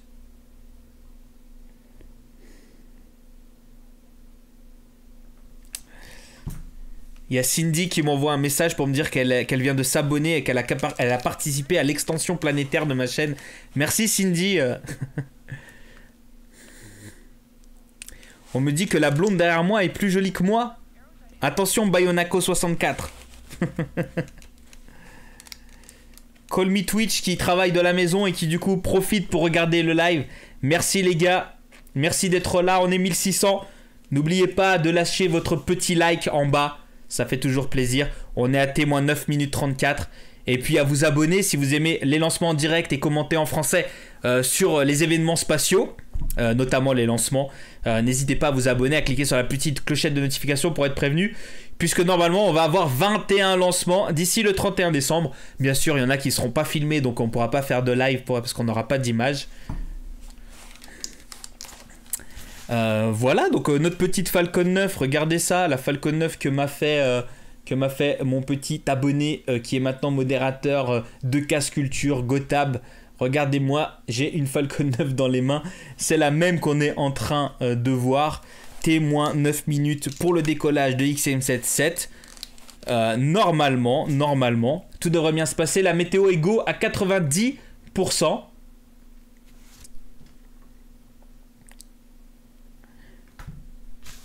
Donc là, ils vont nous présenter. Donc ils sont en train de nous présenter en fait le, bah, ce que je vous ai expliqué tout à l'heure, hein. le, payload, la charge utile. Euh, voilà une charge utile, un satellite pour la société SiriusXM qui va permettre ben, de transférer euh, des informations satellitaires pour leurs différents produits, notamment euh, SiriusXM Aviation et SiriusXM Marine. effectivement, je suis vraiment juste entre les seins de, la, de la présentatrice, ce qui est très très bizarre, vous en conviendrez. Est-ce que je dois bouger de l'autre côté? Est-ce que je dois faire un glissage un glissage de l'autre côté? C'est parti, je me suis glissé de l'autre côté, histoire de ne pas être entre ses seins et de ne pas vous choquer. Euh, on me dit qu'à 19 000 abonnés, je t'envoie de la glu pour recoller la Falcon 9. Effectivement, ça fait euh, un mois que j'ai pas recollé la Falcon 9. merci Richard. Euh, merci à toi pour ce soutien inconditionnel à base de glu. tu es un abonné de glulité de qualité. Donc voilà, j'ai préféré euh, me décoller euh, des seins de cette, euh, de cette jeune fille ou de cette dame ou de cette femme, comme vous voulez. Qu'est-ce que je voulais dire? Voilà, on a parlé de la Falcon 9, on est à témoin 7 minutes. N'hésitez pas à vos questions. Alors on me dit, Carlos me dit, pour info, le booster utilisé par cette mission est le même qui avait servi à ramener la première capsule Crew Dragon jusqu'à l'ISS, donc True Demo One. Donc c'était avec nos amis euh, Doug et l'autre que j'oublie tout le temps et à chaque fois vous me le rappelez. Pourquoi j'ai que Doug en tête? Euh, Pourquoi je n'ai jamais l'autre en tête? Mais dites-moi comment s'appelle l'autre cosmonaute de la mission Crew One. Donc à 19 000 abonnés, euh, Richard m'envoie de la glu. Mister le random qui pose une question qui a été posée tout à l'heure. Euh, en cas de crash, qui, rembourse le satellite Eh ben, il y a des assurances pour ça. Euh, donc SpaceX, Bob, voilà, avec Doug et Bob. Bob, je suis désolé Bob si tu es sur le live, je sais pas pourquoi euh, j'oublie le nom de ce duo. Je sais pas pourquoi Doug me reste dans la tête, mais pas Bob. Pourtant c'est facile Bob. Hein. Bob Bacon, désolé à lui. Témoin 6 minutes. Témoin 6 minutes. tout a l'air de bien se passer. Je vérifie juste les infos. On est toujours bon. Go for lunch. Tout va bien. On va passer à témoin 5 minutes pour le décollage. En direction de l'espace. Avec un satellite euh, de radio, radio euh, de la société Sirius XM. On me dit que je ressemble à Jeremy Irons. Je ne sais pas qui est Jeremy Irons. L'inculture de Ufotinique se révèle au grand jour. Salut Aldric. Aston X me demande est-ce que la plateforme est ancrée en mer? Non, elle n'est pas ancrée. La plateforme, c'est une sorte de drone autonome. Enfin, autonome, à mon avis, qui peut être piloté, bien sûr. Mais euh, je sais que la récupération, en tout cas, se fait en autonomie. Est-ce qu'il y a un décollage ce soir à 20h Oui, il y a un décollage ce soir à 20h, donc il ne concerne pas notre vol qui démarre dans T-5 minutes. Euh, il y a un décollage ce soir à 20h euh, de la fusée euh, Rocket 3, Rocket 3.2 qui va tenter de se mettre en orbite, mais ils ne diffuseront pas de live, donc je ferai pas de live. Ils font un live sur leur Twitter, Astra, A-S-T-R-A. c'est le nom de la société qui envoie cette roquette. Euh, voilà, donc pas de live de leur part, mais par contre un live tweet. Euh, donc si vous voulez aller sur Twitter pour suivre ça, c'est ça. Peut-être que je mettrai quelques tweets aussi là-dessus en essayant de, de, de ressembler. De, voilà. On me dit je ressemble pas du tout à ce mec, mais je sais pas qui c'est. Sébastien, Nana et Seb, toujours fidèles au live de Ufotinic, un youtubeur de qualité. En fait, je suis un youtubeur de qualité simplement parce que j'ai des abonnés de qualité. assez exceptionnel. Vous êtes d'une sympathie euh, à toute épreuve. Diblimé me dit comment vas-tu depuis Starship? Eh bah écoute ça va. On me dit qu'on vient de passer les 19 000 abonnés.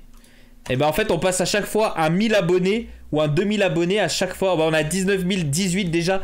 Merci à tous. On va même être à 20 000. Mais à chaque fois qu'on fait un lancement SpaceX, on passe un nouveau cap. Donc euh, est-ce qu'on va passer un 100 000 sur le premier, vol d'un Starship en, orbite avec une, fusée, avec une super heavy Ça va être fou ça. J'ai hâte.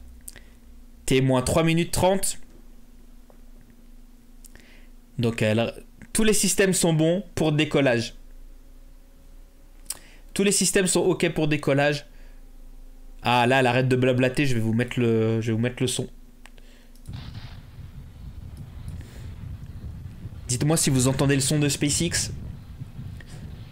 Donc on entend du vent.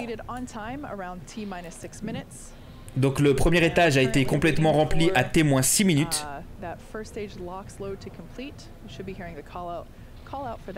moment. And second stage liquid oxygen loading will complete around T minus two minutes. Les, le, 100, le 100 000 à vol de SN9, j'y crois pas vraiment. This announcement means that the rocket's own internal computers are now controlling the launch countdown on Falcon 9. Richard va m'envoyer de la glu. Si tu veux mon adresse, Richard, tu pars sur Discord. Euh, le lien est en, est en commentaire.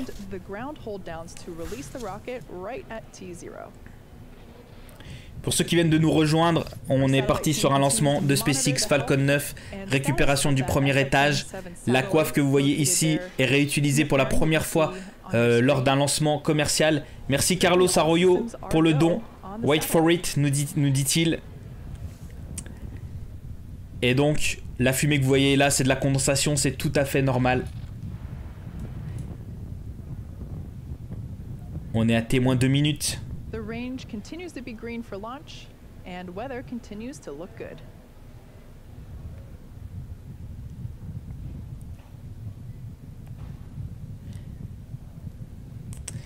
Pour tous ceux qui viennent de nous rejoindre, je vais arrêter de parler pour entendre le lancement. Euh, tout est en description si vous voulez savoir le lieu de décollage, etc.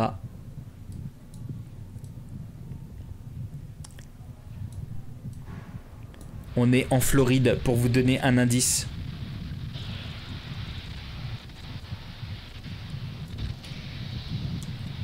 On entend gentiment notre fusée nous faire un petit appel avant de décoller.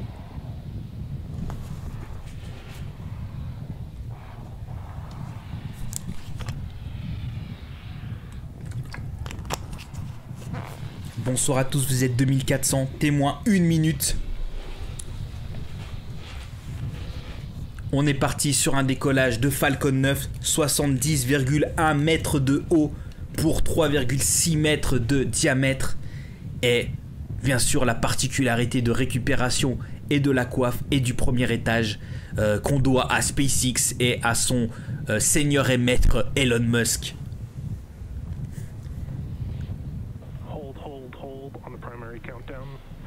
Hold.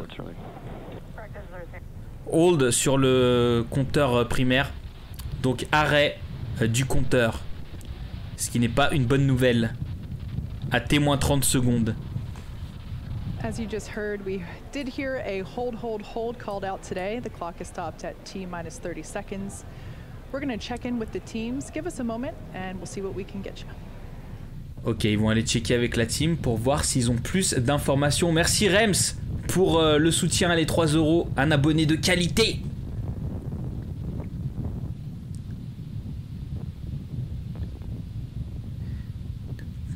Là, on n'a pas de bol. Je sais pas s'il y a plus d'infos. Témoin 15 minutes, donc c'est pas une annulation. On est parti sur un témoin 15 minutes. Donc le, lancement va être relancé. Euh, la fenêtre de tir se ferme dans euh, un peu plus de 30 minutes. Il reste 35 minutes pour lancer le satellite. Donc là, on a un reset du chrono.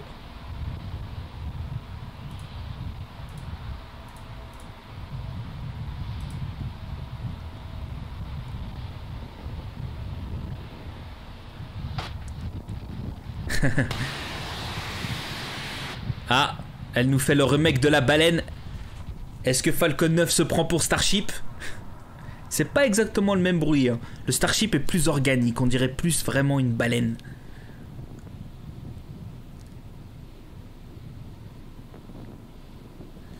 Donc là pour l'instant le chrono n'a pas redémarré, mais euh, ils ont remis un chrono, donc normalement ça a l'air d'être euh, euh, repoussé. Comme je vous le dis, on va pas faire 7 heures de live. Vous êtes tous en train de dire on est reparti pour 7 heures de live.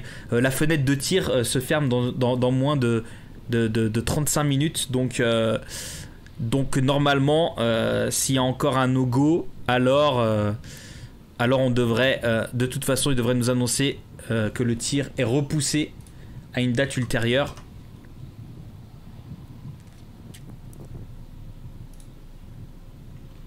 Sortez les nacelles, nacelles tiniques, euh, Céline.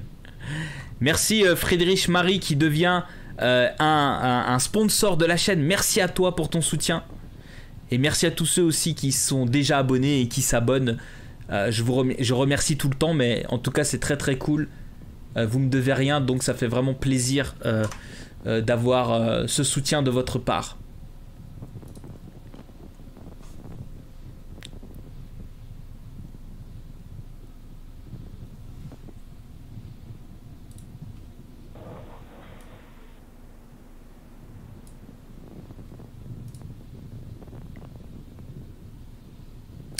Est-ce que vous me préférez à droite ou à gauche Dites-moi. On a le temps là.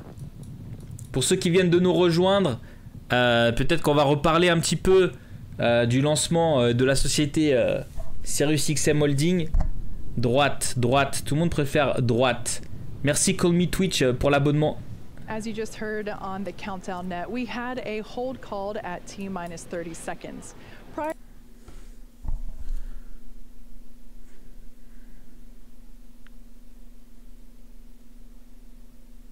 Ok.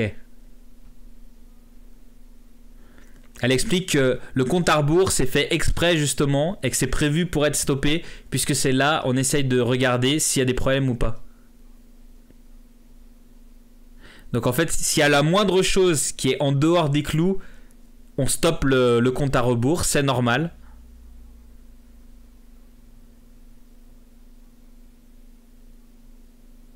Ah, et eh ben c'est une annulation c'est une annulation euh, du lancement euh, de SpaceX. On est sur une annulation. Euh, elle a dit allez regarder sur les réseaux sociaux en attendant pour voir notre prochaine fenêtre de tir. je crois que c'est. Ouais, témoin 30 secondes. Annulation à témoin 30 secondes. Écoutez, les gars, je crois que c'est la vie. je crois qu'on vient de voir un petit fail en direct, en tout cas un fail, pas vraiment un fail, puisque ils ont eu un problème. Euh, est-ce qu'ils en parlent un peu plus sur Twitter? Hmm, Non, ils en parlent pas un peu plus sur Twitter. Euh, on va attendre tranquillement pour voir euh, euh, si on a des infos. En tout cas, euh, l'arrêt euh, du chronomètre à témoin 30 secondes. On y était presque. L'arrêt du chronomètre à témoin 30 secondes et on est reparti bah, pour revoir ce lancement un autre jour. Décidément, en ce moment, c'est la poisse. Franchement, hier soir, on a vu la Delta 4 Heavy qui, elle, pour le coup, a été, a été stoppée trois, trois fois. a été stoppée trois fois. Euh, sur le pas de tir et a été annulé de nombreuses fois. Ça fait plusieurs mois qu'on attendait le décollage de cette, de cette Delta 4 Heavy. On l'a vu hier soir. Euh, voilà, le lancement de ce soir est reporté à une date ultérieure qu'on ne connaît pas. Euh, de toute façon, maintenant vous êtes tous abonnés, les gars. N'oubliez pas de vous abonner, de cliquer sur la clochette de notification pour être prévenu. Je remettrai un live. Le prochain live, je ne sais pas trop encore, puisque les dates arrêtent pas de glisser et les heures aussi. En tout cas, si vous êtes abonné, si vous êtes sur Twitter avec moi, Infotinique, si vous êtes sur Discord, je mets les infos partout. Euh, bah pour qu'on arrive à faire ça. Tout le monde me dit va au lit maintenant. Non, je vais pas aller au lit, je vais aller regarder l'émission. Euh, euh, je sais plus comment elle s'appelle, District Z là. je sais pas si vous allez la regarder aussi, mais je risque de tweeter là-dessus pour voir si s'il se passe des choses. Dites-moi si vous allez regarder District Z. venez sur Twitter, Ufotinique et on discute sur Twitter euh, de ce qui se passe dans l'émission. Je fais une dédicace à Petit Oiseau. Salut, euh, salut Petit Oiseau qui demande une dédicace. Ah, vous êtes déçus, c'est pas grave, les gars. C'est pas grave. On a vu le lancement de Starship. Moi, j'ai pris assez d'émotions pour euh, jusqu'au Starship SN9. on me dit que le lancement est repoussé au 12 décembre, c'est-à-dire demain. Bah écoutez, demain on est samedi, donc euh, si c'est vraiment le 12 décembre, euh, bah, on fera le live de toute façon. Hein. vous serez au courant de la sortie du live. Pour l'instant, je vois pas d'informations de SpaceX Astonix, euh, ouais, je suis du côté du lac Léman. Effectivement, je suis pas loin du lac Léman.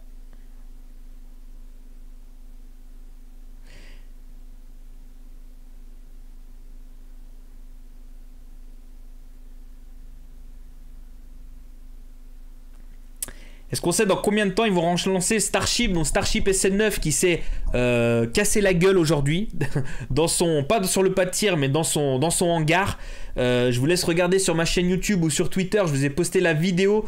Euh, on ne sait pas ce qui s'est passé. Il était prévu que le que SN9 soit amené sur son pas de tir le 14 décembre et du coup bah je sais pas trop si c'est remis en question ou pas. Je vous tiendrai au courant sur les réseaux de toute façon. Tout le monde me dit District Z, ça va être nul. Il y en a qui disent c'est de la patate. Je connais pas du tout. Je vais regarder. Moi, j'aime bien les jeux. On va voir ce que ça donne.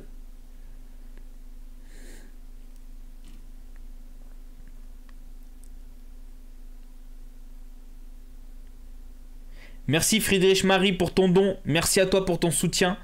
Euh, je crois qu'en plus, tu es devenu euh, sponsor de la chaîne. Donc merci en plus pour ton don. Le lac de Genève, dit le mec, salut Alex.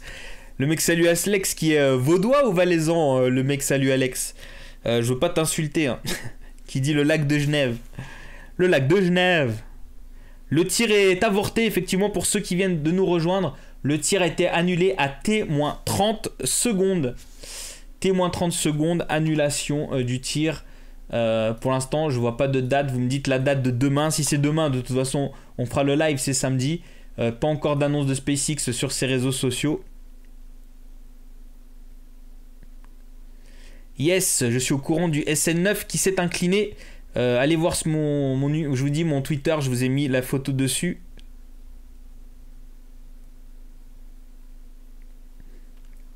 Il y a Laurent qui dit c'est le lac Léman. Euh, vous embrouillez pas, je sais que c'est le lac Léman. Est-ce que vous savez que la plus vieille carte du lac Léman euh, la plus vieille carte que vous pouvez trouver dans un musée du lac Léman, c'est écrit sur la carte lac de Genève. Ce qui pourrait en énerver plus d'un.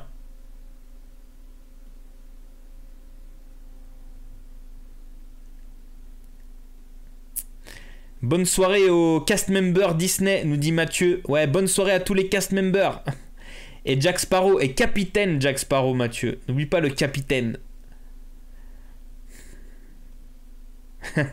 Patrice il dit c'est sympa ce que tu fais mais faut que tu dormes plus.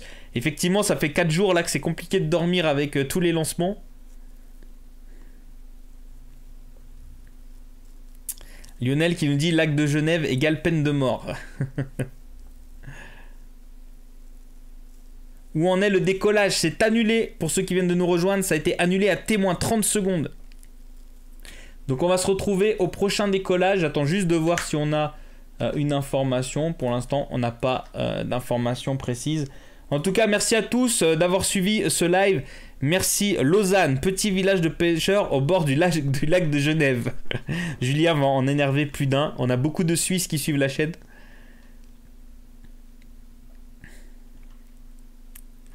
Merci en tout cas Cyrus qui a activé la petite clochette. Merci à tous ceux qui se sont abonnés. Merci à tous les abonnés pour votre, comment dirais-je, gentillesse de qualité, puisque vous êtes des abonnés de qualité. Euh, merci à tous. On se retrouve bah, du coup peut-être demain, on verra, euh, pour un lancement. Ce soir, lancement de Astra, pas de live, puisque pas de live de Astra. Il sera disponible sur Twitter en live tweet, comme ils disent, sur ASTRA. Merci à tous d'avoir été là. On se retrouve à tout bientôt pour un nouveau tir. Restez connectés à YouTube. Merci à tous et bonne soirée. Et à bientôt pour une prochaine vidéo. Tchus!